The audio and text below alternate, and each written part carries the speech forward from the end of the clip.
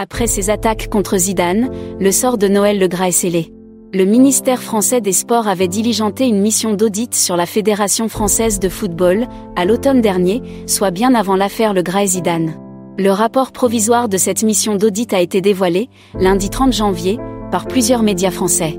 Les rédacteurs du rapport n'ont pas été tendres envers le président de la Fédération française de football, allant jusqu'à contester sa légitimité dans le football français.